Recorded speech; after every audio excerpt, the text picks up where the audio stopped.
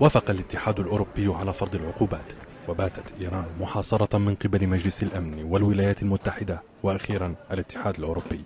عقوبات الأوروبيين الجديدة ستطال بالدرجة الأولى. قطاع الطاقة الإيراني غازا ونفطا. لتحرم الجمهورية الإسلامية من تقنيات الغرب واستثماراته.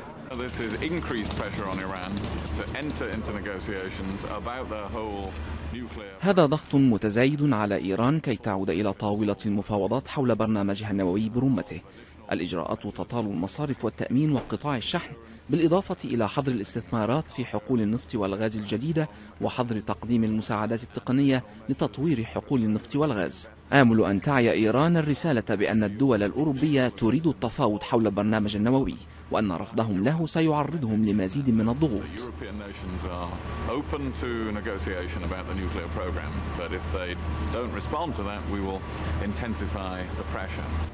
صحيح أن صرامة العقوبات الأوروبية الجديدة فقط في بعض بنودها العقوبات الدولية والأمريكية وصحيح أنها ستعرض خامس أكبر مصدر للنفط لشح الوقود وللعجز عن تلبية الطلب المحلي على مشتقات النفط لكن إيران ومع هذا لا تزال ترفع سقف التحدي فهي تارة تؤكد أن حليفيها التقليديين روسيا والصين لن يتخليا عنها في محنتها وتارة أخرى تهدد بإدراج الشركات الغربية التي تقاطعها على اللائحة السوداء.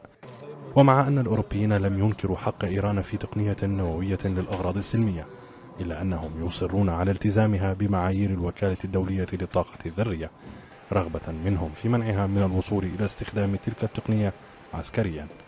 حيدر الخير بي بي سي.